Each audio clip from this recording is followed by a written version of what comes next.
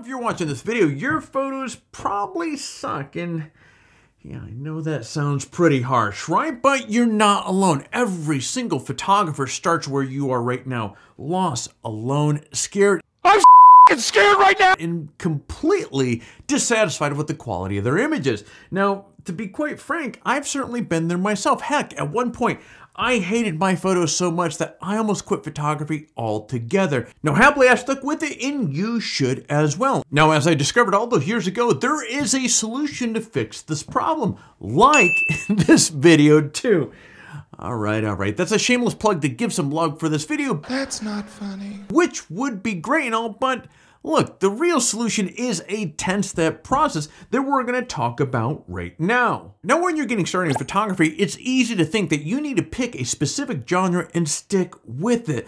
But the, the truth is, you don't, friend. Photography is a vast field with endless possibilities, and it's perfectly fine not to box yourself into a niche from the get go. Now, what you need to do is explore all genres of photography from landscapes to portraits, macro, street. You might find the thrill of capturing candid moments on the streets or find the tranquility of shooting serene landscapes. You never know what's going to spark your passion Heck, unless you get out there and try. But the important thing is to remember is that your niche isn't going to be decided in a day. This is going to evolve over time as you discover what you truly enjoy and what really resonates with your audience. So, friend, get out there, experiment with different styles of subjects, and let your niche find you. Listen, the best camera is the one that you have. I know, you've heard this probably before. Your smartphone, point and shoot, DSLR, a mirrorless camera, friend, it doesn't matter, at least in the beginning at least. Now, what matters is that you get out there and start. Don't wait for the perfect shot. Don't wait for the perfect lighting. Start clicking, start exploring. Believe me, every photo that you take, good or bad, is going to be a step forward to becoming a better photographer. Remember, photography is like any other skill, it's about practice, experimentation. The more you shoot, the more you learn. It's as simple as that. I'll go one step further. When you're starting out, focus on quantity rather than quality. What did you say? I'm going to say that again.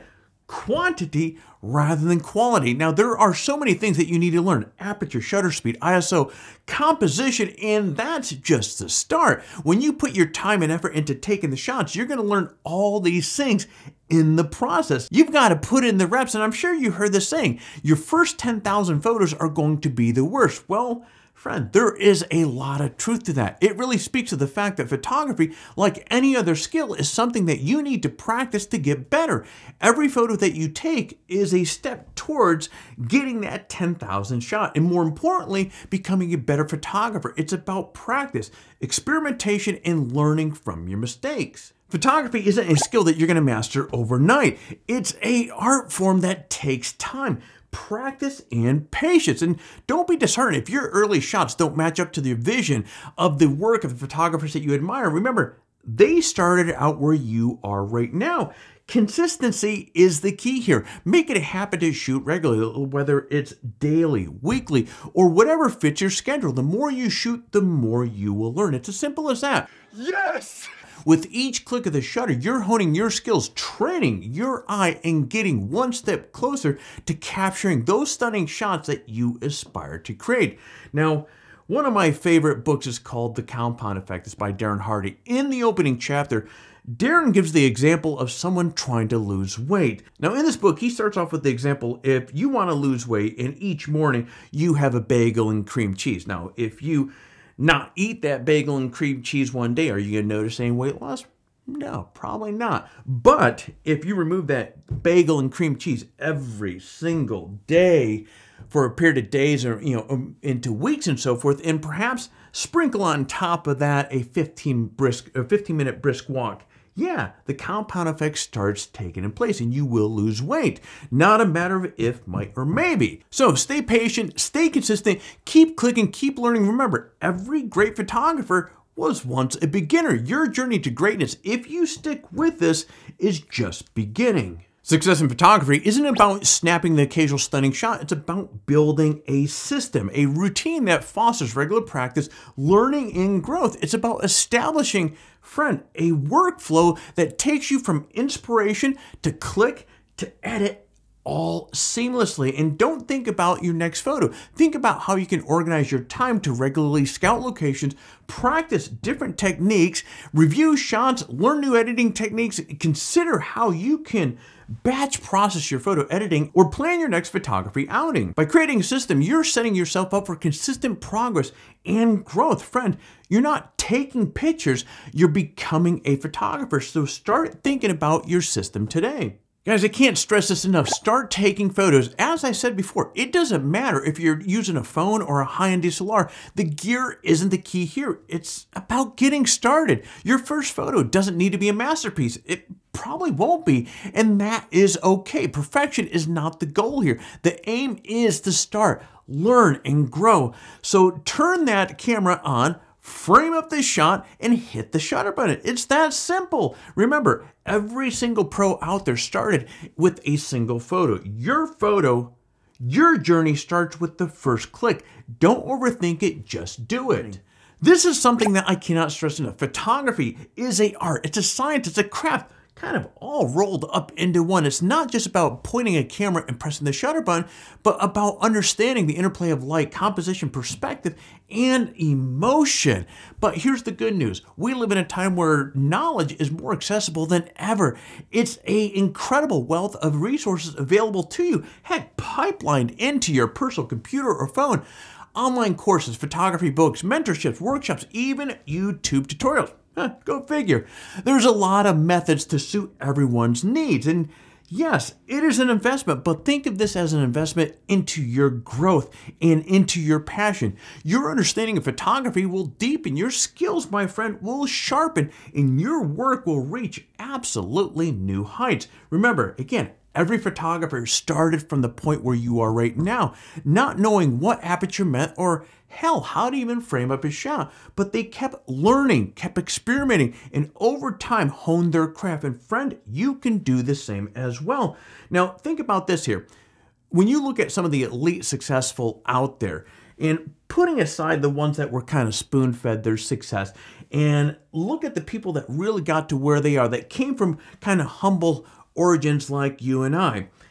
These people got to where they are not because they had an easy they had an easy path. No, these people fell down more than others but learned how to get up. Friend, they fell down more than others and learned how to get up. So stay curious, keep learning, push yourself to learn new techniques, to step outside that comfort zone. The more you learn, the better your photos will become, the more your unique style will shine through. Now embarking on a creative journey can be yeah, daunting. And you know, I've got the solution for you. Our most popular course you know, on Photography Talk over the number of years has been our 30 Day Creative Eye Challenge. Look, this is a groundbreaking, easy to follow 30 Day Creative Eye course that is designed to provide you with the perfect roadmap to kickstart your photography prowess. So, getting you to see and photograph more creatively. So, what's going to happen here is each day you're going to dive headfirst into a unique photography lesson. Then you're going to have an actionable task that's essential for your growth as an artist.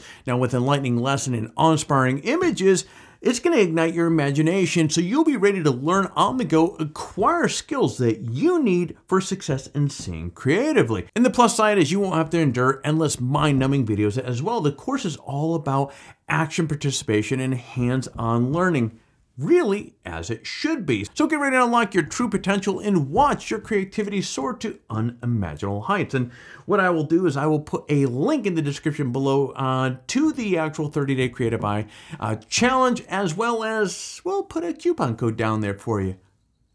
Boom!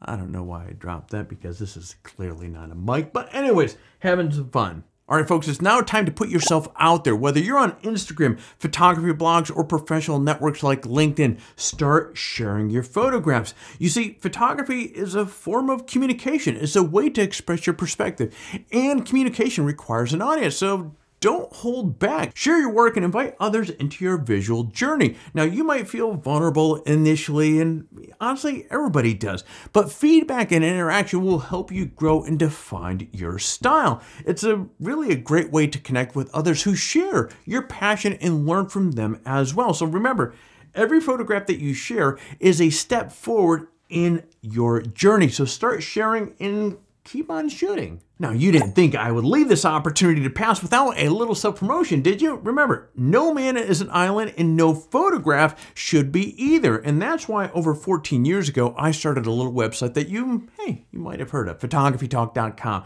Now, this is a place for photographers to connect, learn, and share their work. It's a real social network for shutterbugs. And hey, I want to be a good businessman if I didn't tell you about it, right? I mean, I got to pay for my endless supply of camera lenses somehow. But all joking aside, communities like Photography Talk are a absolute treasure trove of knowledge and inspiration. They're to provide you with all sorts of opportunity to exchange ideas, get feedback on your work, and even collaborate with future projects. So don't go alone into the world of apertures and long exposures. Dive into a photography community, starting with my total unbiased recommendation, photographytalk.com. It is a game changer for growth as a photographer. Don't get me wrong, I'm all for getting it right in the camera, but let's be real here. The magic doesn't stop when you press the shutter button. Heck, this is only the beginning. Learning photo editing is like discovering your superpowers. You can enhance colors, exposure, crop out pesky photo bombers, the possibilities are absolutely endless. So whether you're a Lightroom loyalist or a Photoshop fan or you swear by another editing tool, it's really essential to get familiar with post-processing world. Now think about this as your secret sauce to your photography burger. This is a tasty burger. Sure, you can have the burger without any sauce, but man, why would you want to? So if you're serious about leveling up your photography game, delve into the world of photo editing and it could be the difference between a good photo and one that is absolutely mind-blowing. Yeah, baby. yeah. Now, as you've watched this video, not only are we moving fast here, this is a fast-paced one here, but have you noticed the patterns in these tips? I can't stress this enough. Photography is a art. It like any other art, it thrives on creativity, exploration. Don't just confine yourself to one genre, as I mentioned earlier. Heck, try them all landscapes, portraits, street, macro, abstract, whatever catches your eye. Play around with different techniques, different lenses, or even different cameras. Heck, why not throw in some new editing skills into the mix as well? Remember, your first attempt may not be a masterpiece. Friend, that is okay. It's all part of the journey. It's about finding your voice or your style, your unique perspective. It's about making mistakes, learning from it. So don't fear experimentation, embrace it because at the end of the day, photography is all about capturing the world as you see it. There you have it, folks. My top 10 tips for aspiring photographers. Now remember, the key to success is to pick up a camera and simply start snapping. So what are you waiting for? Get out there and start capturing your perspective. And remember to subscribe to the channel for more tips that will help you maintain your momentum in your journey to becoming a skilled photographer. It is a long journey, friend, but it's not something that you have to do alone. Instead, the Photography Talk team will be right here along your side, cheering you and giving you the resources that you need for your success. So, until next time, you keep those shutters clicking and remember that every single photo that you take is a step on your journey to becoming a better photographer. So keep shooting, keep learning, and most importantly, keep experimenting to find your best shot.